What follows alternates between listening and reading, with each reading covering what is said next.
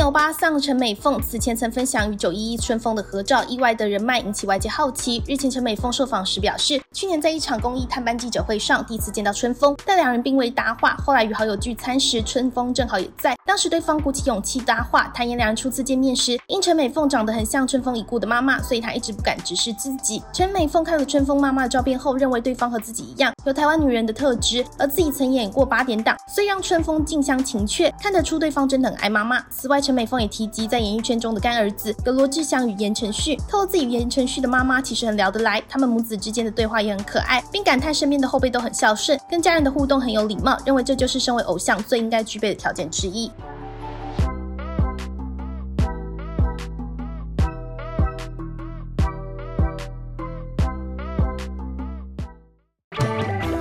Thank you.